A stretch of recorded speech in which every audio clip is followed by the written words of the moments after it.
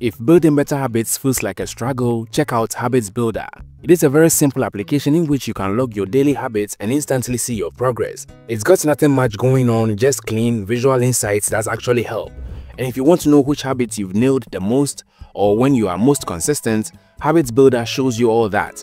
With beautiful graphics that reveal your patterns at a glance, plus you can color code each habit. And privacy is all on the device, no cloud storage, no accounts, no data tracking. And so whether you are working on fitness goals, some daily routines or looking to improve on some simple habits, then you need to check out Habit Builder. Next, we have Tracker Control and this one is a must-have if you care about privacy. It shows you exactly how applications on your phone track your activity, which companies are behind it and what type of data they are collecting. And the kicker is you get to block the tracking. And what's clever is how it uses a local VPN to monitor traffic without sending any data outside your device.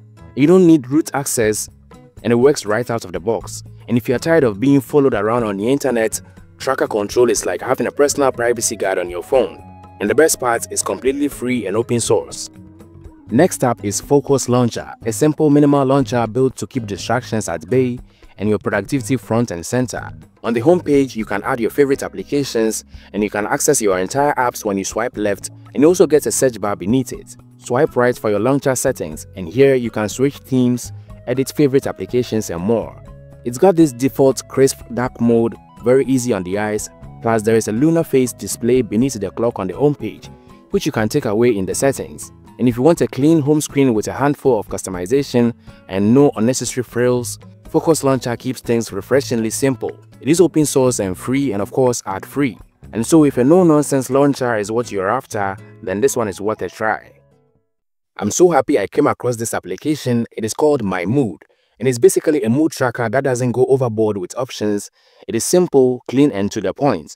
So every day you get a fresh page where you can log your moods throughout the day using five facial emojis from sad to happy. And you can add events that impacted your mood and what time they happened.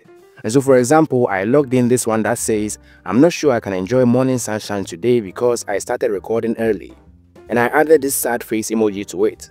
It's like keeping a lightweight mood journal but with a minimalist interface that makes tracking easy and quick.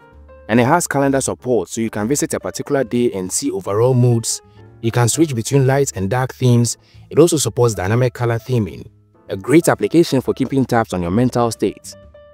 Next is Number Hub, a calculator that does way more than just basic math. It installs a calculator but it's really an all-in-one tool. You've got trigonometric functions, fractional outputs, and a clipboard-friendly design for copying and sharing results. But there is more. Number Hub has a unit converter with over 500 options, a date calculator, and even a time zone converter. It is polished, ad-free, and open source. Honestly, this one application can replace a whole bunch of separate tools, and it looks great doing so.